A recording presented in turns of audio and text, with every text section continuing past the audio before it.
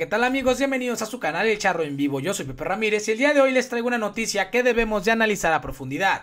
Y es que después de que el presidente Andrés Manuel López Obrador diera a conocer cuánto gana Carlos Loret de Mola por estar atacando al gobierno de la Cuarta Transformación, en los medios de comunicación tradicionales y principalmente en las redes sociales, se lanzó toda una campaña de desprestigio en contra del presidente Andrés Manuel, donde convergen políticos del PRI, el PAN y el PRD, periodistas que en sexenios anteriores recibieron chayote y los llamados pseudointelectuales, que una y otra vez despotricaron en contra de la cuarta transformación. Y es que las y los mexicanos debemos de entender que en estos momentos estamos en medio de una pugna de poder entre dos grupos antagónicos, por un lado, la cuarta transformación encabezada por el presidente que quiere transformar la vida política y pública de nuestra nación y por el otro, los que quieren mantener el status quo. Aquí se encuentra la oposición y empresarios machuchones como Claudio X González y el Diablo Fernández de FEMSA. Y estos personajes están utilizando todas las estrategias posibles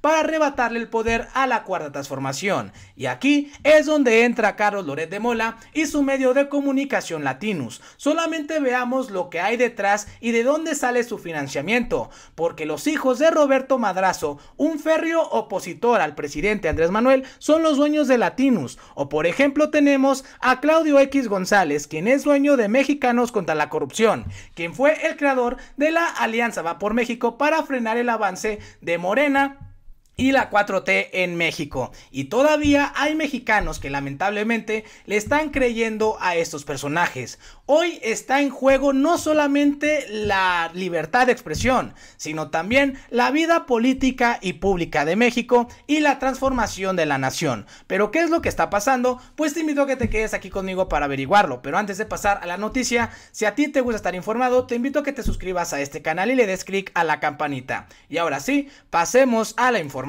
y es que familia, después de que el presidente Andrés Manuel López Obrador diera a conocer que Loret de Mola cobró 35 millones de pesos en un solo año por estar atacando a la cuarta transformación en los medios de comunicación tradicionales y principalmente en las redes sociales, se lanzó una campaña de desprestigio en contra del presidente, acusándolo de vulnerar la libertad de expresión y de poner en riesgo la vida de Carlos Loret de Mola y de su familia al revelar estos datos. Y es que al final estos personajes lo único que están buscando son conjeturas para seguir golpeteando al gobierno de la cuarta transformación. Todos nos quedamos impactados al saber el sueldo de Loret de Mola, pero sobre todo la frialdad del presidente. Y es que era necesario exhibir a estos personajes que están engañando a las y los mexicanos en un momento estelar de nuestra historia. Porque hay que recordar que siempre en materia política debemos de ver de dónde vienen los golpes y en este caso lo que hay detrás de Loret de Mola nos debe de preocupar porque estoy seguro que así están todos los medios de comunicación que una vez se dijeron libres como en este caso Carmen Aristegui, Loret de Mola, Broso, López Dóriga y muchos otros más que son las estatuas, son las vacas doradas del periodismo en México. Obviamente la respuesta de Carlos Loret de Mola no se hizo esperar y lanzó un video con fondo negro, acusando al presidente de vulnerar, de cometer delitos, de estar en contra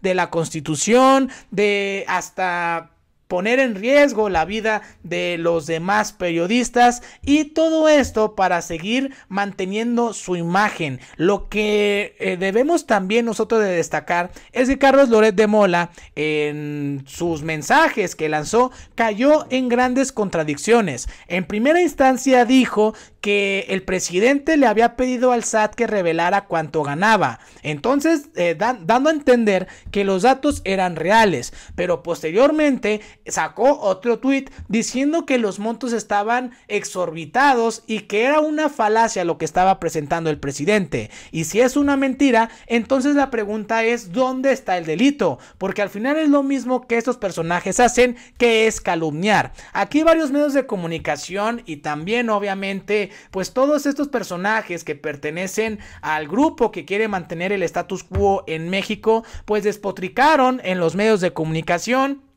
estuvieron lanzando mensajes de apoyo a Carlos Loret de Mola, lo ya esperado, porque al final eh, siempre actúan de la misma manera, actúan... Eh, ya, ya sabemos hasta sus propios movimientos de estos personajes, pero nunca pueden negar que la prensa es utilizada para golpetear cuando no le eh, para golpetear y se han convertido en el cuarto poder en México. Aquí tenemos algunas imágenes para que recuerde Loret de Mola cómo los medios de comunicación estaban a los pies de sus amos. Aquí tenemos a Loret con Enrique Peña Nieto ahí saludándolo. Aquí tenemos otra imagen de Peña Nieto, Carlos Loret de Mola y de Joaquín López Dóriga, que en su momento fue el periodista o el noticiero más escuchado de la República Mexicana. Y aquí lo lamentable eh, y que debemos nosotros también de analizar es cómo se ha manejado la prensa en nuestro país. Eh, lamentablemente la televisión y la radio es eh, son los medios de comunicación que siguen teniendo mayor audiencia y a estos personajes los escuchan por ahí. Ahí tenemos a la W Radio, tenemos a López Dóriga, tenemos a Ciro Gómez Leiva y mucha gente le cree las mentiras a estos personajes y sus engaños. Pero con esto que hizo el presidente Andrés Manuel, ya puso en el debate la moral y principalmente la actuación de los medios de comunicación en un momento estelar de todas y todos los mexicanos. Como les decía, existe una campaña en contra del presidente y eh, estuvieron sacando el hashtag todos somos Loret de Mola. Como siempre, familia, lo, que hemos observado, ellos se guían por las redes sociales y creen que la República de Twitter puede realmente socavar la popularidad del presidente Andrés Manuel, que eso es lo que realmente están buscando estos personajes. A eh, muchos mexicanos también, después de esta mañanera que hizo el presidente, ya cambiaron su forma de pensar, pero en estos momentos sigue esta pugna, esta lucha lucha por realmente eh, defender la libertad de expresión y sobre todo de información que tenemos las y los mexicanos. Escuchemos qué fue lo que dijo el presidente el día de ayer en la mañanera. En bruto, hay que ver si paga impuestos. Todo esto lo voy a pedir en el informe. 35 millones 200 mil pero para que la gente tenga una idea, que me da esta pena, este, si lo comparamos, porque eh, gana más que yo, pero me da pena porque yo gano muchísimo si se compara con lo que gana la mayoría del pueblo de México. Pero miren cuánto gano yo.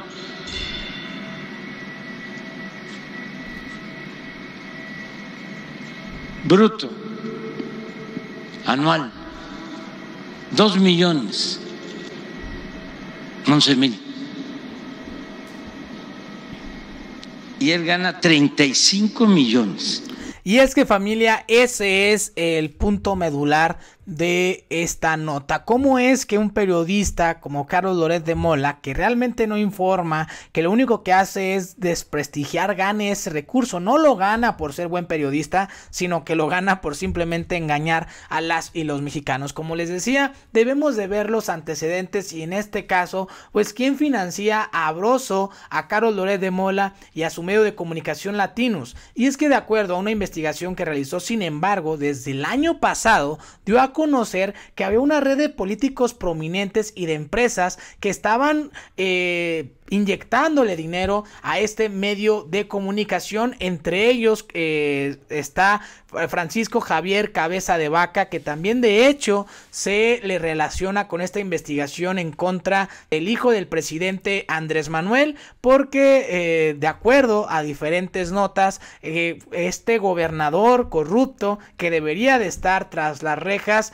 le pagó a investigadores eh, a exagentes del FBI para que investigaran y le dieran seguimiento a la familia del presidente Andrés Manuel. Pero veamos lo que hay detrás de Latinus. Detrás de Latinus, la plataforma que tiene como estrellas al periodista Carlos Loret de Mola y a Víctor Trujillo, hay un amasijo de políticos y empresarios que incluye a la ex, eh, a la ex subsecretaria Patricia Olamendi, a su hijo Miguel Alonso y al secretario privado del gobernador Silvano Aureoles, Marco Antonio Estrada Castilleja. Pero el poder lo tiene Federico Madrazo Rojas y Alexis Nixon Gaxiola, hijo y yerno de Roberto Madrazo Pintado, el rival político del presidente Andrés Manuel López Obrador desde Tabasco. Y es que familia, ya cuando uno se da cuenta cómo... Eh, qué hay detrás y en los intereses que existen después, detrás de todos estos golpeteos es donde nos damos cuenta que Loret de Mola, y así lo voy a decir sin pelos en la lengua, es simplemente un eh, personaje que se vende o que forma parte de una plataforma política que en este caso es, eh, está eh, al servicio de Claudio X González y de todos estos personajes que buscan derrocar al presidente. Pero escuchemos qué fue lo que dijo Roberto Madrazo Pintado sobre sus hijos y sobre todo el papel que, va, que, que iba a tener Latinus, que era simplemente a tocar al presidente para presuntamente despertar conciencias. Escuchemos pues los, lo, lo, veremos. Muchos comentarios también de felicitación por lo que toca a Latinus, a la plataforma Latinus. Ya nos dijiste que es tu hijo, tu yerno, quienes están ahí. Tú no, tú eres amigo de la casa nada más. Así es, así es. Pero bueno, veo con simpatía que se den estos espacios de debate, de discusión, porque lo requiere México. Y de información. Y de, mucha información, de mucha información. Un poco hay que quitar la venda que todavía tienen eh, los mexicanos en algunos sectores de lo que realmente está pasando. Un poco las mañaneras me recuerdan a aquella figura del gesticulador de Luis Usigli, que comento en el libro, en donde... Eh, se trata de proteger en aquel entonces en la novela los ideales de la Revolución Mexicana, pero Hoy en día lo que estamos viendo es un gesticulador en las mañaneras que trata de ocultar la realidad que vive el país, no habla de sus problemas más serios y todos los días está buscando cómo desviar la atención y llevarnos a otros temas que no tienen que ver con los temas centrales que el país necesita resolver. Primer domingo de junio, elecciones. Las encuestas dicen. Pues ahí está familia lo que dijo este personaje. Vamos a seguir escuchando un poquito más. Y es que aquí es donde después potrica Roberto Madrazo y da realmente este punto que nos debe de esclarecer de qué se trata Latinus, un golpeteo que existe dentro de esta plataforma y solamente veamos los invitados, nunca han invitado a nadie que realmente apoya al presidente Andrés Manuel, invitan sí a Ricardo Monreal que hemos visto ha traicionado al presidente y a la cuarta transformación, pero principalmente sus invitados son de la oposición, son personajes que están en contra del presidente y de ahí debemos nosotros también de sacar nuestro criterio, voy a creer que muchos mexicanos sigamos, les sigan creyendo a ese personaje. Pero escuchemos. Pese a todo, pese a los libros, a las críticas, a las plataformas, todo indica que el partido del presidente va a ganar las elecciones.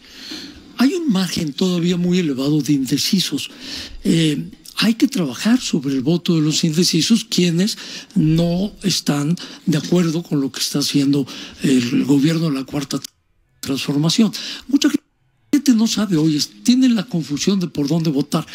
Estas alianzas que se han formado los partidos opositores a la 4T necesitan presentar propuestas. Hay pues ahí está familia. Entonces eso es lo que están buscando, ganar indecisos y sobre todo seguirle engañando al pueblo de México. Ahora también veamos pues cuáles son los aliados de Carlos Loret de Mola, en este caso Claudio X González, que también pues fue eh, socio de Iberdrola a través del emporio Kimberly Clark que acumuló ocho permisos en el rubro energético, los cuales desaparecerían con la reforma eléctrica del presidente y por eso estos personajes familia están preocupados porque eh, Andrés Manuel López Obrador les está poniendo una cátedra en este caso con la reforma eléctrica y estos personajes pues quieren seguir eh, teniendo grandes ganancias, quieren seguir beneficiándose a costa del pueblo. Solamente miren, veamos quién es Claudio X González, todos ya lo conocemos, pero eh, veamos imágenes de Claudio X González con la oposición, este, apoyando, por ejemplo, a Margarita Zavala. Él fue el que aglutinó a la oposición, al PRI, al PAN y el PRD en esta alianza Va por México y es dueño de Mexicanos contra la Corrupción, de esta empresa donde esta organización civil donde presuntamente eh, fueron los que descubrieron este eh, presunto conflicto de interés del presidente. Entonces, ¿qué no hay una relación o que no observan que realmente este montaje, este reportaje y también lo que está presentando Carlos Loret de Mola se trata de un simple... Eh, espacio para que la oposición pueda hacerle frente al presidente. Eso es lo que yo eh, quiero comentarles a todos ustedes, porque hoy lo más importante y que está en juego no solamente es la libertad de expresión como ellos dicen, sino lo que está realmente en juego es el futuro de nuestra nación. Y no caigamos en las mentiras de estos personajes que lo único que han hecho es engañar al pueblo de México. Yo soy Pepe Ramírez y nos vemos hasta la próxima.